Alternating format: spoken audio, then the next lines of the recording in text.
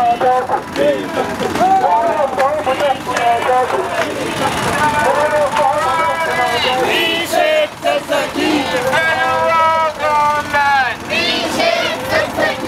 Jairan Buhari.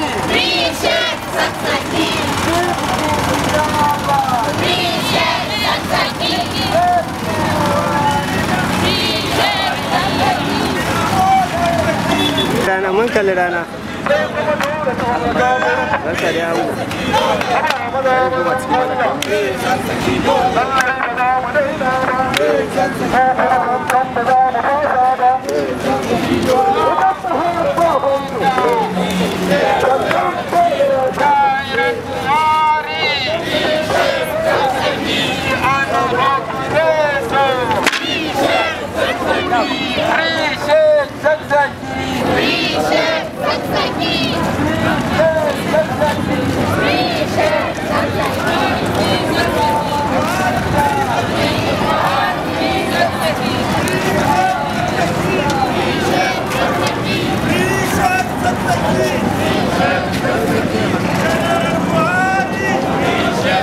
Come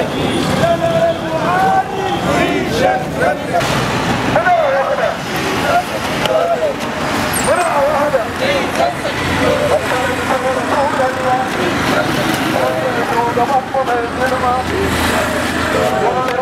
come on.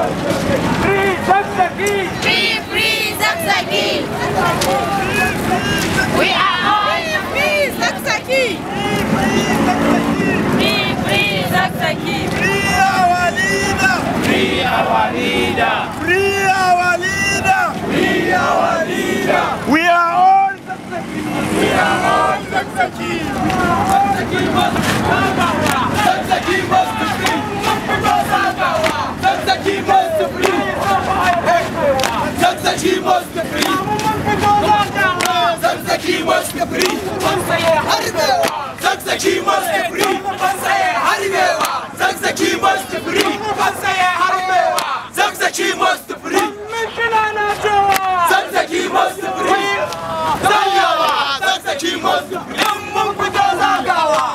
zagawa. Zazzaki must be free. Harbewa. Zazzaki must be free. Mun fito zagawa. Zazzaki must be free. Akan zazzaki mu ba mu shankar uban kowa.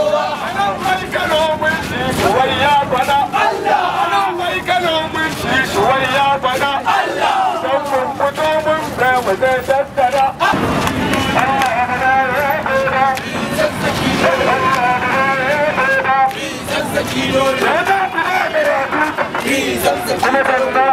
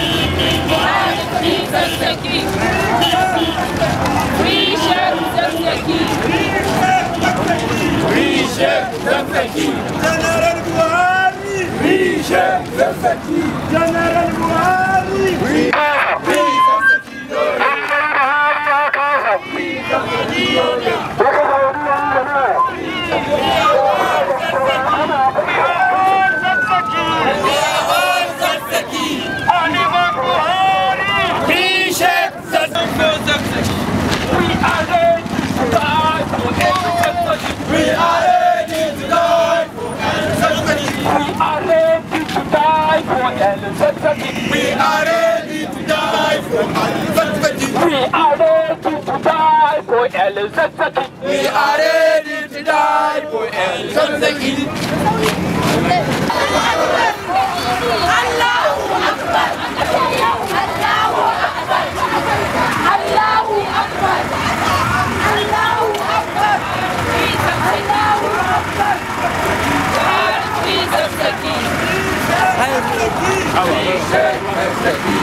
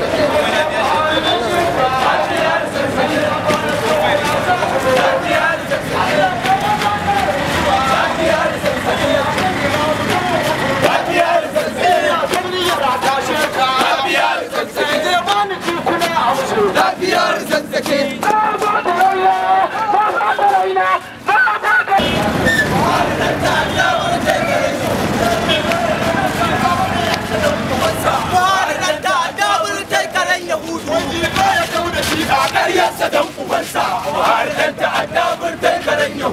David ya yi karbala wai ya gama da shi'a. Nan da dabur kai karen Yahudu. Tilas ka gyara. Ni zazzaki dole. Ni zazzaki dole.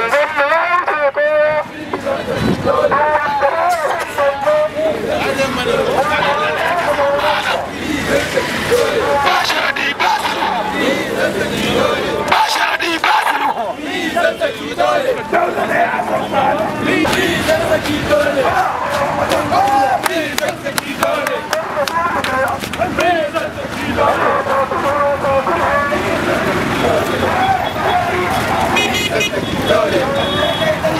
Ni zazzaki dole.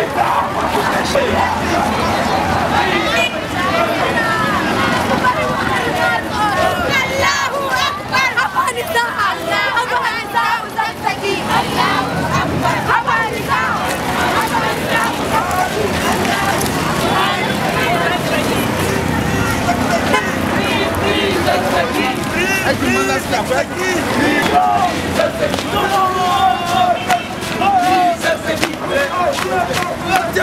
Ni zazzaki.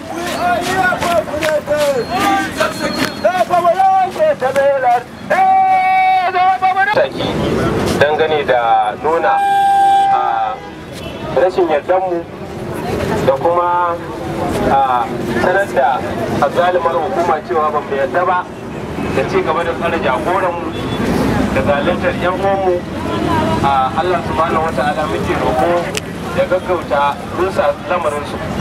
Kuma muna roƙon Allah subhanahu wata'ala ya gaggauta fitowar da jagoranmu a insha Allah muna tare da shi malam Sani Abdulrahim Malafa wanda shi za mu to Najeriya. Allah ta'ala da ya halicci ɗan adam ya kawo mu mu sai ya kaddara nan za mu rayu. Kuma muke yin abin da muke yi a matsayin mu mu na ɓangaren al'ummar nan. Abin da ya faru ga wannan bawan Allah Maulana Sadi Zazzaki Hafizahullah wani abu ne a sarari wanda ba wanda ya jahilce shi. Ko da ma mutum baya tare da mu ya gane cewa an zalunci wannan bawan Allah. Saboda haka muna nan muna ci gaba da nuna rashin goyon bayanmu da kuma tsinuwa da la'anta ga wannan azzalumai wanda suke ci gaba da yi mana wannan zaluncin saboda haka makasudin wannan fitowar kenan muna mun fito ne muna so mu kara nuna wa wato al'umman nan ko kuma ce wannan jahiliya cewa ba mu yarda da ci gaba da tsare mana jagora ba. Kuma wajibi ne a saki sar ibrahim zazzaki saboda me? Saboda ba laifin da ya yi. Ya muku? Kuka riƙe shi ko kuma kuka ce kuka kashe masa almajirai sama da dubu ɗaya kuka harbe shi kuka harbi matarsa kuka kashe masa 'ya'yansa guda uku a gabansa. Tambayar da muke muku wannan azzaluman menene laifin maulana sai da zazzaki a wurin ku? Allah ta'ala da ya halicce mu ya kawo mu duniya ya halicce mu ne saboda mu yi addini. Kuma abin da wannan bawan Allah yake yi shine addini wanda Allah ta'ala ya halicce shi saboda shi. Kuma dukkanin al'umma shaida ne akan cewa maulana sadi ibrahim zakasi ya Allah ya fi kowa son zaman lafiya a ƙasar nan. Shi sa ma har wanda ba musulmai ba sun yadda sun gamsu maulana sadi zazzaki a Allah yana son zaman lafiya. Wannan wani abu ne a fili abin da nake faɗa duk wanda duk wanda yake sauraron wannan bawan Allah a cikin wannan al'umman zai zai yadda da abin da nake faɗa. Saboda haka abin da muke faɗa kuma muke ƙara nanatawa ba mu yadda da ci gaba da tsara wannan bawan Allah ba. Ko ba komai a kamar yadda muka sani ita wannan ƙasa da muke rayuwa a cikinta ƙasa ce wacce aka ce kowa yana iya yin abin da ya fahimta. Kuma wannan bawan Allah abin da ya fahimta shine ya yadda kuma ya amince kuma ya gamsu ya bi Allah ta'ala shi kadai ubangijin sammai da kasai wannan shine abin da yake kira zuwa gare shi.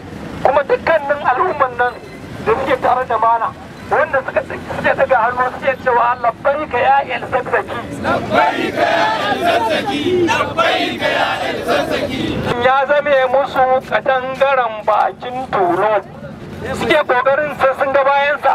To abin da za mu gaya muku muke kara gaya muku. Wallahi sun matallahi sai zazzaki abu karfinku ba yadda za ku yi da shi nan gani nan bari. Saboda haka muna faɗa muna ƙara nana ta ku saka mana jagoran mu ba wani laifi da ya kuma wallahi sun matallahi ci gaba da riƙe wannan bawan Allah a wannan ƙasar da ake cewa Najeriya. To wannan yana nufin ba zai haifar wa da Najeriya da mai ido ba. Ba wani da wata uta wata ta haifa wanda zai ci gaba da zalunta wannan bawan Allah ko kuma ya yi tunanin zai cutar da shi kuma ya zata cewa shi zai zo ya zauna lafiya ya rayu. Wallahi sun matallahi ba zai yiwu ba. Sai dai in duk kun karar da mu gaba ɗayan mu duk wani almajirin sai zazzaki wanda ya fahimce shi ya gane abin da yake cewa. Abin da yake cewa shine idan muka ce labbaika ya el zakzaki. Labbaika ya el zakzaki labbaika ya el zakzaki labbaika ya abin da wannan yake nufi shine mun ba da rayuwarmu mun ba da dukiyarmu mun ba da komai namu akan wannan bawan Allah. Saboda haka ba za mu taɓa mu zura ido wani abu ya same shi ba mutukan muna raye. Sai dai idan duk kun kashe mu idan duk kun kashe mu ba wanda yake limfashi a cikin mu to shi kenan wala Allah kuna iya sauwar cewa za ku wani abu. Amma wallahi sun matallahi mutukan muna rayuwa ba za mu taɓa zura ido wani abu ya same shi ba. Kuma abin da muke faɗa muna faɗarsa ne a bakinmu kuma da zuciyarmu ba ma jin tsoron don wani ɗa da mace ta tsuguna ta haifa. Allah ta'ala ne ya halicce mu shi kada muke jin tsoro. Shi sa ma muke yin abin da muke yi. Saboda haka wannan shine saƙon mai zuwa gare ku. Saboda haka ku saka mana jagoran mu kamar yadda kowa yake shi yan uwa bai gane wannan abin da na faɗa ba kowa ya gane. Wanda irin gudunmawa kake bayarwa wajen ganin cewa jagora ya dawo cikin mu? Yanzu maganar da muke yi akwai rijal a akwai rijal suna can sun zauna sun tare a abuja. Sun ce ɗaya ko a saka musu jagoransu ko a kashe su su shahada. Kuma sun ce sun alkawari tsakaninsu da allah kafar kafar jagora. Saboda haka ya kamata kowane dan uwa ya zama irin wannan ba wani abin da zai ba wanda ya isa mana abin da Allah ta'ala bai rubuta akan mu ba. Me muke jin tsoro yan uwa? Idan kisa ne ba su kashe mu ba me ba su yi mana ba? Saboda haka ina jin hankalin yan uwa. Yan uwa mu dage akan wannan yanayin da muke ciki. Ba mu da zama ba mu da hutu ba mu da zama mu yi wani abu wanda yake ba ya shafi jagora ba. Dole ne mu tsaya mu fito fili mu gaya wa duniya gaskiya mu gaya wa azzalumai gaskiya mu ce ba mu yadda da ci gaba da tsare mana jagora ba. Mu ci gaban da gaya musu cewa sai ibrahim bai burki abi zawallah fansa ne ran fansa ne a gare shi. Mu gaya musu cewa rayuwar ba ta da amfani mutukar shan zazzaki baya nan. Shi sa ma abin da muke faɗa muke ƙara nanatawa. Muke cewa duk wani wanda yake rayuwa a ƙasar nan kowa ne shi idan har ya san cewa kamar yadda jagora yake faɗa in dai har ya san cewa shi almajirin malam ne to idan ya zama cewa yana jin tsoron bullet to ya koma gefe. Malam ya ce wanda yake jin tsoron mutuwa to ya koma gefe. In ya shirya sai ya shigo cikin mu. Saboda haka abin da muke faɗa shine kowane ɗaura almajirin malam zai zauke bisa wallah ya gane cewa mutuwa a tabarkin Allah ta'ala ɗaukaka ce. Kuma mu ci gaba da yin abin da za mu iya wajen haƙƙin jagoran mu. Wallahi yan uwa duk abin da muka yi da mu ce komai akan haƙƙin wannan bawan Allah ba.